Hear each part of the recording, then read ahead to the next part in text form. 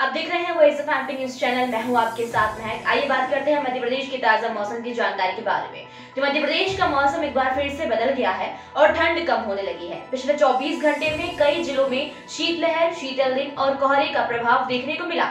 MP मौसम विभाग ने आज छह फरवरी 2022 को मौसम के शुष्क रहने की संभावना जताई है। लेकिन 14 किलोमीटर प्रति घंटा की रफ्तार से हवाएँ चल सकती है।